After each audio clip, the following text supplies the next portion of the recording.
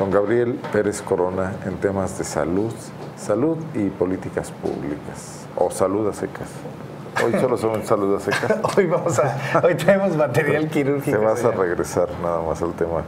Toda la salud es política, ¿estás de acuerdo, sí o no? Toda la salud y todo el organismo es economía.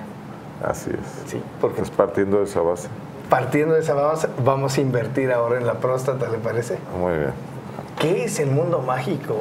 Innovaciones en el tratamiento de cáncer de próstata, pero esto es muy clínico. Ahora sí. Esto es, esto es meramente médico, es, pero fíjate que es Aunque lo innovador. primero es detectarlo a tiempo y eso forma parte de políticas públicas para que la gente se haga exámenes, acuda, ¿no? Por eso ahora la llamada es para las mujeres.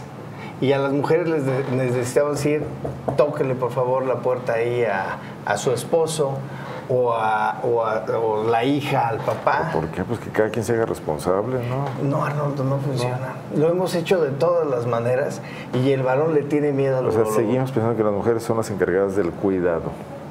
Por lo menos son, son las asiduas a decirle, oye, Es un fíjate. rol muy heteronormativo, como dirían mis amigas sí, feministas. Sí, pero no hay de otra. Los varones no hacemos caso y hay muchísima resistencia por este mito del machismo que si te hacen un tacto de próstata, bueno, pues aparentemente dejas en entredicho la masculinidad. Todavía se piensan esas cosas. Se piensan Será entre los de Morena, porque yo, yo conozco mucha gente. Es lo, más- lo más normal. Sí. Pero a ver, vamos a entrar No, al aquí, tema. Aquí es policultural y de polipartidos. Ahí sí te puedo asegurar que aquí todos se unifican. Entonces, bueno, el tema es este, que llega muy tarde al diagnóstico un paciente, un enfermo, un varón, cuando ya la próstata está crecida y hay que resolverlo. Ahora hay estos nuevos sistemas que se llama Green Láser o láser verde, que la verdad es una maravilla porque mm, cuando tú vas pasando es una guía que tiene, tiene la luz de lado, es un haz de luz que hace un ángulo y lo vas, lo vas pasando como difuminando por el tejido, se va electrovaporizando. Desde fuera, es una intervención eh, externa. Es una intervención externa, ahorita la vamos a, la vamos a ver, donde finalmente 220 volts de la calle, esa energía trifásica, la vas a convertir a energía láser y esta energía láser la hace verde, tal cual, con el color, y esto pasa por una guía. De aquí entonces que esta, esta iluminación... em, créeme que son los 220 volts de la calle para que entonces eh, pase sobre el tejido y es tan vulnerable el tejido, la glándula prostática, que se vaporiza. Aquí es donde estamos viendo que Sí, horrible eso que se vaporiza, pero bueno. sí se, se, se oye no grato, pero créeme que es muy amable, es muy gentil. Ahí ¿Qué, tenemos... qué es- reacciones secundarias en el cuerpo? Fíjate que por supuesto hay inflamación, pero el láser lo que hace es coagular cualquier sangrado. No existe prácticamente ¿Y el eliminas sangrado. tejido que, que es tejido eh, producto del tumor, no tejido de la próstata? ¿Cómo se- Es el tejido de la próstata, toda la glándula, la glándula que es por dentro, así es como en la imagen se nota cómo van saliendo esas burbujas, que es el tejido incandescente. Entonces vas horadando ahí la, el interior de la próstata a través de la uretra del pene. Vemos esa flecha de la guía y vemos un punto rojo y después vemos el haz de luz que pega en ambas paredes de los lóbulos es una intervención ya practicada por usted, doctor Gabriel Pérez Corona. Así es, señor, esta es, esta es una cirugía en vivo, sin editar eh, de ninguna manera. Entonces, ¿Caro este aparato? ¿Caro su utilización? el tema, sí, desafortunadamente, es que esa máquina que está ahí eh, es cara y las guías son individuales para cada paciente. Este, desafortunadamente, es cuando se te encarece por los utensilios que aún no son del común. Entonces, pero te da una, una magnífica eh, reconstrucción de la arquitectura prostática. Ahí vemos cómo con, con esta dirección de este punto rojo, que es la mirilla, lo colocas al lugar donde vas a cortar, por ejemplo, ahí a nivel de ese ángulo superior, retraes esta guía de láser que la maneja, tiene un, tiene, para que te imagines, menos 3 milímetros de grosor. Y aquí es donde tú la vas manipulando, la vas girando para que entonces en ese momento difumines eh, esta luz que se convierte precisamente en un cortador, en un coagulador al mismo tiempo.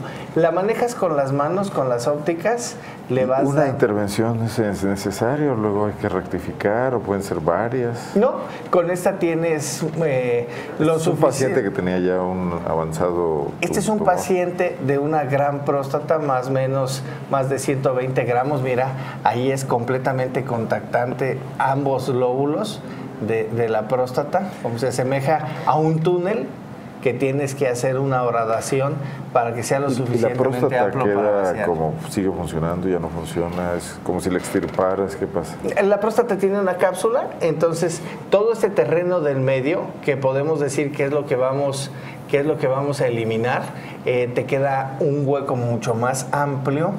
Después, una vez cicatrizado y desinflamado, vemos cómo se está abriendo ya ese túnel al estarlo operando. Y de ahí es simple y sencillamente cómo después puede vaciar la vejiga ya sin obstrucción. Porque la próstata al crecer hacia el medio, el túnel de la uretra, del caño, digamos, del pene que le dicen los pacientes, entonces comienza la vejiga a perder la resistencia y ahí vacías. En las manos tenemos, por ejemplo, eh, los instrumentos con los pies. Eh, también tenemos los pedales, ahí es, es una cirugía que, mm, que tiene un acelerador y tiene un coagulador, lo manejas con los pies, lo manejas con las manos. Con los y- pies, pero no literalmente, ¿verdad? no, no, lo- eh, es, pareciera que estás como... Conozco a quien maneja la política con los pies. no, mismo, no, no, ¿verdad? no, no. En este, en este caso pareciera que tienes una batería y de esa manera es como, como, como vas aprendiendo. Es una técnica nueva. ¿Requiere adicionalmente quimioterapia, tratamiento de cierto No, no, tipo? no. En este es para. Sí se puede operar de cáncer cuando está obstruido, pero esta es indica, este, la indicación precisa es para próstata benigna cuando tienes que retirar eh, el crecimiento que es la hiperplasia que te da hacia el centro. Ahí vemos cómo nosotros con ese aparato no es como estamos dicen- dirigiendo las pisadas. Digo, los que no sabemos y somos así como muy vernáculos, que, que lo podas el tumor y luego nomás retoña. Bueno, puede, puede ser porque el crecimiento de la próstata, mientras se viva, va a estar presente. Eh, Aquí es que limitamos ese crecimiento, eh, haces verdaderamente una, retiras un 40, 50, 60% de esta intención de obstrucción prostática y aquí entonces es cuando el paciente, por ejemplo, eh, los señores que tienen eh, anticoagulantes, para esto es el green láser. Los pacientes que tienen males cardíacos, males cardiac, este, válvulas cardíacas dañadas, que igual están con anticoagulantes. Eh, hemos operado pacientes con infartos cerebrales o hemorragias cerebrales y, y sus efectos secundarios que también tienen anticoagulantes. Personas mayores, por ejemplo, este señor tenía más de 80 años. Entonces, esta es la parte más segura porque no, sangras. No es estresante para el, para el cuerpo, pues una persona mayor que tiene una debilidad en el corazón o algo. Así es. Este te ayuda a que no sangre. Y al no sangrar, no te pone una prueba de esfuerzo eh, que habitualmente puede suceder si no controlas el sangrado. Y o bien, por ejemplo, también eh, no hay absorción de líquido comúnmente con la resección clásica que se llama resección transuretral de próstata. Esto queda en el pasado, esto es eh, hasta el momento una de las que esto es lo circunstancias más modernas. actual, lo menos Eh, invasivo. Esto es lo menos invasivo. Esta, los pacientes se pueden ir al día siguiente o bien tardío ese día y sin sonda. Entonces es, vaya, muy agradable porque el paciente ni lo puede creer, al día siguiente está en su casa, no trae sonda, orina como si nada hubiese pasado y claro, hay que dejarle sus medicinas para dolor, para inflamación, etcétera Tomar cierto reposo, no salir tomar luego, luego. reposo, Así es. Pero bueno, es tan ágil. Cuando a alguien ya le han detectado un crecimiento de la próstata, es benigno, esta es una opción. Esta es la opción. Hay que seguirse haciendo los exámenes a tiempo, las detecciones. Así es, El tiene antígeno prostático. su antígeno prostático. Ah. Mire, usted es un experto ya sí. Los mayores de, que, de 40 ya nos toca. Yo tengo mayores muchos de años, 40. soy experto en eso. Y las personas que tengamos a alguien con un antecedente paterno de cáncer de próstata, 35 años comenzar. eh, haciendo su antígeno prostático específico, eso es muy importante para la detección temprana. Recordando que eh, la heredabilidad de la enfermedad en cáncer de próstata es muchísimo más común, tres veces más en los eh, jóvenes o en los pacientes de, de- de edades tempranas para heredar el cáncer. Eh, esta es una de las oportunidades que tenemos, novedosas, y créeme, créeme que funciona y los pacientes están muy seguros. Yo sí te creo. Muchas gracias. Señor. Hoy no hablamos ninguna cuestión de política pública. Hoy no, nos salvamos, ¿verdad? Bueno, perfecto. Fuimos muy tenues. Y esta operación pues prudentes. la haces tú en tu, en tu consultorio, Gabriel. Estamos en el hospital, por supuesto, y ese es... La pusiste en tu Facebook. La puse en mi Facebook, ahí está. Ahí, a través de ahí te puede contactar cualquier candidato. Digo, de una vez, pues ya el todos somos, comercial sí, completo. aquí entonces todos somos amigos, ahí, ahí los veo.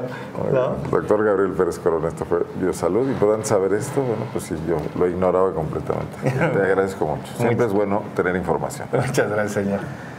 Regresamos con un cierre de la información con temas. La nota de hoy, la Universidad de Guanajuato que se gastó 2 millones de pesos en remodelar una casa que les heredaron para hacer una sala de juntas, para el rector que no tiene sala de juntas en, No la usted. Universidad de Guanajuato. ¿Te imaginas? Ha de estar bonita. Sí, sí, 2 millones de pesos, una casita de menos de 80 metros cuadrados. Les quedó muy bien. Señor, Bueno, a estrenar. regreso en un momento.